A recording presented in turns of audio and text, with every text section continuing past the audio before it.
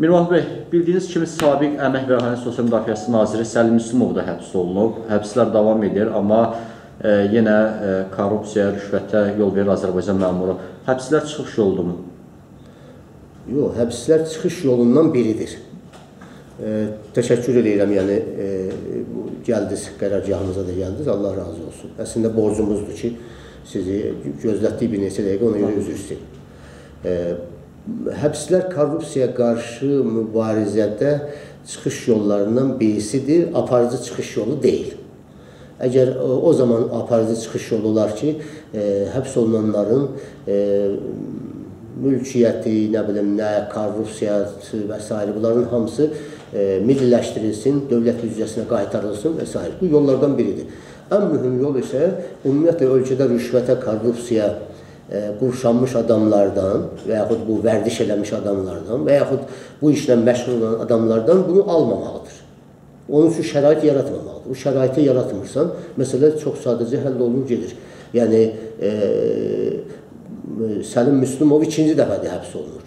Yəni, həm əvvəlki vaxtlarda deməli vəzifəyə, nazir vəzifəsinə gəlməmişdən qabaq da həbs olunmuşdur və indi təkrar həbs olunur. İndi belə çıxır ki, bəzi adamlar üçün ikinci dövrə başlayıb həbs olunmalar və e, bu Azərbaycana e, çox böyük ziyan vurur, mənəviyyatına ziyan vurur. Təkcə büdcənin talanması deyil ki, insanlar, yeni nəsillər bu cür formalaşır ki, e, yəni almalısan rüşvəti, verməlisən rüşvəti, bütün bunların hamısı bu bir ənənədir, sanki yaranıbdır.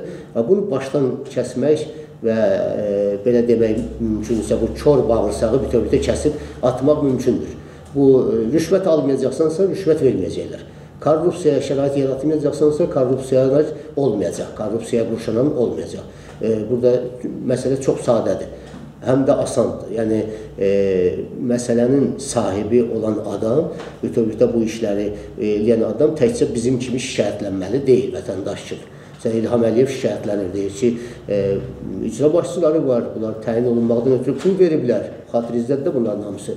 Və təbii ki, verdikləri pulları çıxarmaqdan da ötürü sonra gedib işləyirlər, cəmaatdan pulu alırlar, rüşvət alırlar. Ya bunu belədir. Ya bunu bilirsiniz, bunu da deyirsiniz, biz də deyirik. Amma bu işi həll etmə imkanı birinci şəxsin əlindədir.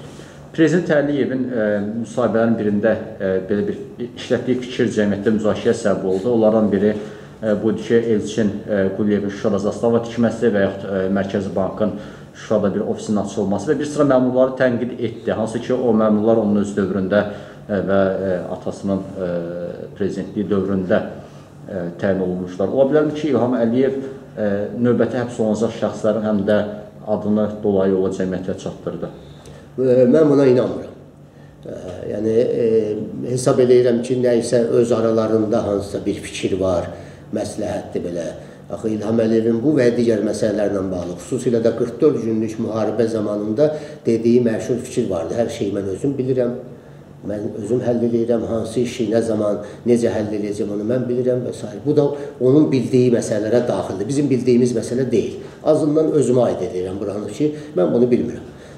Ona görə də bu məsələ ilə bağlı e, hesab edirəm ki, İlham Əliyev bunu istədiyi təqdirdə siz dediyiniz olacaq istəmədiyi təqdirdə elə bizim üçün bir informasiya idi, bir məsələ idi və yaxud kiməsə öz yerini göstərməkdir, həddini göstərməkdir və s. və s. belədir və yaxud bizim hamımızın, sizin və bizim hamımızın diqqətimizi əsas e, deyək ki, e, problemindən yayındırmaqdır. Vəssalam. İndiki dövrdə Azərbaycan vətəndaşının sosial-iqtisadi durumu hansı yerdə sizin fikrinizcə? Çox bərbad bir vəziyyətdədir, bunu hər kəs bilir. Yəni hal-hazırda qiymətlərin qalxması, suyun qiymətinin ondan qabaq deyək ki, biz e, yanacağın qiymətinin qalxması və bu bütövlükdə hələ bundan sonra mart ayından etibarən daha ciddi fəsadlar olacaq. Yəni bu qiymətlərin qalxması e, e, deməli e, kənd təsərrüfatı ilə məşğul olanların problemləri yaranacaq.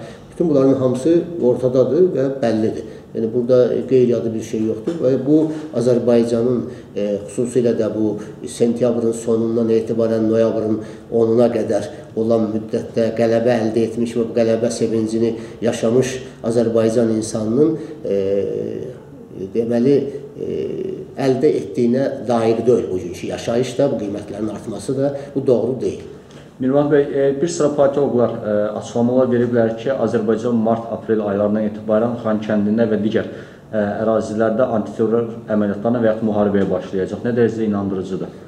Bu məsələ də İlham Əliyevin istəyinə bağlıdır. Görürsüz, hətta dostumuz, qardaşımız Türkiyə Cümhuriyyəti, onun Cumhurbaşqanı bu məsələ ilə bağlı açıqlamalar verir, Xarici İşlər Naziri açıqlamalar verir, təkliflər irəli sürürlər, xəbər gözləyirlər, Bakıdan xəbər gözləyirlər İlham Əliyevdən. İlham Əliyevin bu məsələyə münasibəti necə olacaq? Bu ondan asılıdır. Əslində müharibə bitməyib, müharibə davam etməlidir. Antiterror əməliyyatını mütləq və mütləq Azərbaycan başa çatdırmalıdır. İndi e, informasiya sızdırırlar özləri də, kənardan da biz eşidirik bunu. Düşmən tərəfdən daha çox eşidirik. Azərbaycan Bakı Xan kəndində arayıq o araiklə danışıqlar aparır, görüşlər keçirir, hər hansı bir məsələlər var, kimsə gizli şəkildə bunu deyirlər, edirlər. Bunların hamısının e, son nəticəsi olmalıdır və biz Xan kəndində də, bütün torpaqlarımızda da bu gün 185 yaşayış məntəqəmiz işğalçı Rus sülh məramlısının nəzarətindədir, ermənilərin nəzarətindədir, onlar azad olunmalıdır. Bundan ötürü də e, sadəcə olaraq onu e, noyabra ehtiyac yox idi, o bəyanata ehtiyac yox idi, amma bunu belə məsləhət bilibdi İlham Əliyev, belə edibdi. Ən azından öz məsləhət bildiyini özü indi aradan qaldırmalıdır bu problemi, aradan qaldırmalıdır və həll eləməlidir. Hə, Azərbaycanın bütün ağlı kəsən insanı hamı bunu gözləyir. Hətta bizim bir-birimizin bəzi məsələlərdə əleyhinə eşitdik ki, e, fikir ayrılığımız olur. Müharibə məsələsində də ciddiliklə möhkəm bir yumruq kimi birləşsək də, bəzi məsələlərdə fikir ayrılığımız var. Bu fikir ayrılığına da son qoyulur. İlham Əliyev bunu edir. İndiki məqamda Qarabağda olan ə, e, siyasi proses hansı yerdədir? Yəni Azərbaycanın Qarabağa təsiri ilə bağlı. Azərbaycanın Qarabağa təsiri yoxdur.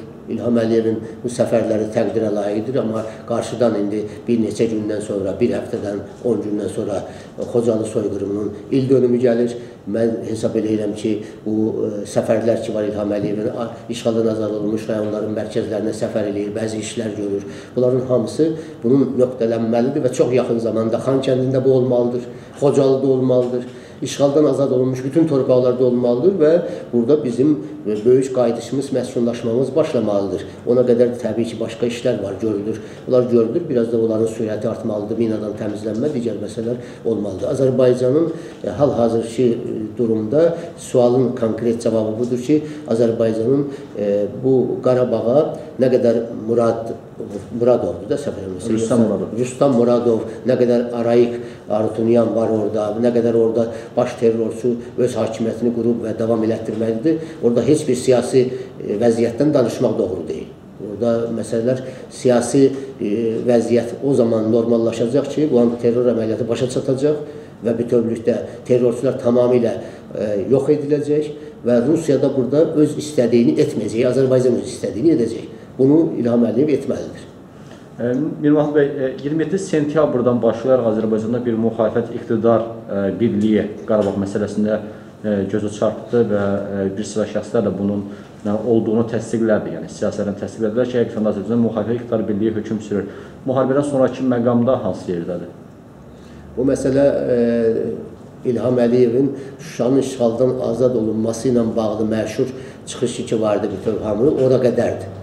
Ondan sonra ona görə ki, bütün bunların hamısını İlham Əliyev özü istəmədi, sonra davam eləsin. Belə məsləhət bildi, belə istədi, siyasətini buracan gətirdi və bu istiqamətdə də biz İlham Əliyevə görə yox, biz kiməsə iqtidar o müxalifət münasibətlərinə görə yox, vətənimizə və dövlətimizə görə bir arada olduq. Və ona görə də biz dedik, İlham Əliyev də sonra bunu təkrarladı ki, İlham Əliyev doğrudan xoşbəxt adam oldu ki, onun zamanında bu torpaqları işğaldan azad eləməklə belə bir müxalifəti oldu onun. Elçibəyin belə müxalifəti olmadı. Heç Heydər Əliyevin də belə müxalifəti olmadı. Heç Heydər Əliyev özü də belə müxalifəti olmadı. Yəni zamanında. Amma İlham Əliyev bunu qazandı. Şansı vardı, amma heyif ki, bu şansdan axıra qədər yararlanmadı. Çox təəssüf. Ona görə də bu məsələdə İlham Əliyev yenə də əgər belə bir addım atacaqsa, vətən naminə, dövlət naminə, ordumuz üçün, şəhidlərimiz üçün, torpağımız üçün, əskərimiz üçün, qazilərimiz üçün bu birlik yenə də olacaq, mütləq və mütləq olacaq. Kimliyindən asılı olmayaraq mütləq olacaq və biz bu məsələdə vətənimizə, dövlətimizə, bayrağımıza, millətimizə, torpağımıza görə bir aradayıq, yenə də bir arada olmalıyıq. Bu iqtidarlar gəldi gedərdi, bu münasibətlər də dəyişəcəklər. Gah belə olacaq, gah belə bir təxminən iqlim kimi, hava kimi dəyişəcək. Siyasi hava da dəyişəcək, yəni bir e, meteoroloji hava olaraq bu dəyişəcək, amma vətən, torpaq, millət bu sevgi dəyişməz olaraq qalmalıdır. Mirmah bəy, Rusiyada baş verən prosesləri Azərbaycan cəmiyyəti böyük maraqla izləyir və Azərbaycan cəmiyyəti bir Rusiya ilə bağlı narahatdır, çünki Rus məramları Azərbaycan torpaqlarındadır. Rusiyada baş verəcək hər hansı bir hakimiyyət dəyişikliyin Azərbaycana nəsə bir xeyri olacaqmı sizin fikrinizcə? Yəni bu nöqteyi nəzərdən. Mən e, e, hesab edirəm ki, e, təkcə o cür deyil məsələ, siz dediyiniz kimi də deyil. O cür düşünənlər də var. Maraqla izləyir Azərbaycan cəmiyyəti Rusiyada baş verənləri belə deyil.